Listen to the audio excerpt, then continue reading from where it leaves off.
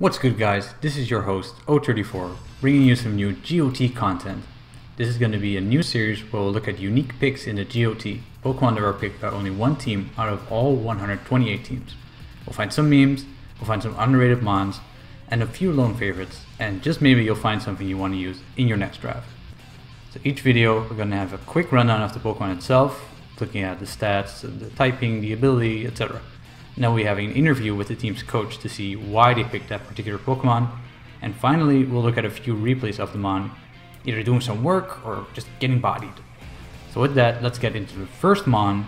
In the first episode, we'll be looking at the GB Garchomp's Pangoro.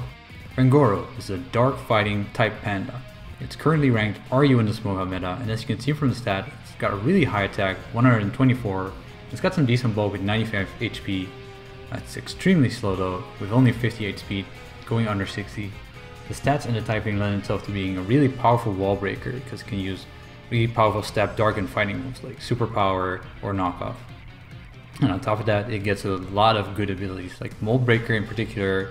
It's the standout ability, of course, being able to break through levitate with earthquake. Iron Fist is also amazing as it gives you a lot of a uh, big boost on moves like Drain Punch or Ice Punch or Thunder Punch. Scrappy is not that useful because Pangoro can already hit Ghost for super effective damage, but uh, an ability on its own, it's pretty good. It's easy to see how versatile this mon can be in the league format, especially when you look at its moveset. Obviously it gets big stab moves like Knockoff, it gets Drain Punch, Superpower, it also gets a lot of coverage like Earthquake, Thunder Punch, Iron Head, Ice Punch, Stone Edge, uh, Zen Headbutt, Gunk Shot, even gets Exeter if you want that. So it has a very wide attacking move pool. And on top of that, it gets a few setup and utility moves like Bulk Up, Swords Dance, Parting Shot, and Taunt. So you can run sets like Swords Dance with Gunk Shot, Knockoff, and Drain Punch, but you can also decide, hey, let me get a Parting Shot set on there. Let me get a bulky Taunt set, or let me get a Bulk Up, Sub, Focus Punch set, something like that. So Pangoro stands out not just as a powerful attacking mon, but it also brings a lot of utility to the table. I asked the coach of the GB Garchomp's Momo a couple questions about his pick. So he wasn't capable of recording, so I'm just going to read out his answers to you guys. And my first question was, why did you pick this Mon? He responded with the following. He said he needed a dark type and a fighting type, and Pangoro was 2 in 1. He also mentioned the insane coverage he gets, and that he can get an optimal matchup every time by just changing up the moves. He also said that he wanted to try out some of the Z moves, particularly Z-Me first, which raises the speed by two stages which is obviously incredible for a 58 speed mod. I also, I personally want to add to that that it also gets Z parting shot we can fully heal a mod, so that's very useful as well. My second question for him was, what are your expectations of this mod? And he said that it's done pretty well so far, but mainly in test battles. In game 1 it broke through a and killed the Starmie, and in game 2 he didn't even need it because Necrozma did so much work for him. But you can see some matchups where it will thrive, depending on the set.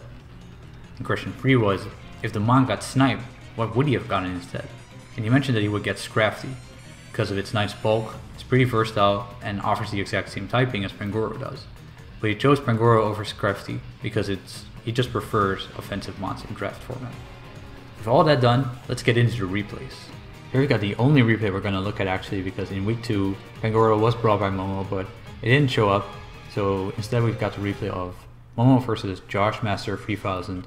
Um, kind of pretty nice team actually. These are some scary mods, but I can already see uh, just looking at the teams how much work Pangoro can do against this setup, right? Like it can beat Victini with the right moves. It can, well, not maybe not Victini, but it should be able to beat the Bisharp. It should be able to threaten the Hydreigon, and as we know from the interview, it's gonna kill the Starmie. So let's see what Momo does with this Pangoro in this replay outright, Josh Master 3000 started the Hydreigon, and gets scared by the Pangoro, immediately goes out into the Manectric, doesn't even U-turn. Uh, which is weird to me if it's Scarfed and it can obviously outspeed a Scarf Pangoro, but it just doesn't want to risk a fighting type move, I suppose. Might be a bit of a slow Hydreigon. Or it was just looking for an Intimidate on a Manectric, I'm not very sure, but the Pangoro immediately went out as well. So probably not a pivoting set this time around. Otherwise, I feel like a Z parting shot would have been a, uh, not a Z parting shot, a regular parting shot would have been a normal move or a good move to choose. Let's see if it comes back in. Nope. I'm gonna look for a turn where Pangoro is available. Oh, there you go. So as you can see here, the Charizard X gets killed by the Mega Manectric and he puts in the Pangoro. There it is. And immediately he's just threatened and swaps it out. The Drain Punch comes out from Pangoro. It hits Starmie for 28%, which is nice. For a resisted move, that's pretty decent. And he actually weathers the Scald, decides, yeah, I'm gonna risk his burn, I'm gonna risk his move, and I'm just gonna go for it and knock off. So Pangoro is gonna come in here for the second time, or the third time actually since it came in in turn one. It's gonna send out the Bisharp, Josh Master 3000 it, and then he swaps out into Pangoro, just not caring about the knockoff at all since it's a quadruple resist, I believe. And that's actually a life orb Pangoro, which explains the damage on the, and then it dies. Well, with that, we're gonna wrap up today's episode of the Unique Pick Showcase. I hope you've learned something. I hope that Pangoro seems like a more favorable pick for you next time around in the GOT. And we'll see what Momo ends up doing with this Pangoro. I'm excited to see it, and I hope you are too.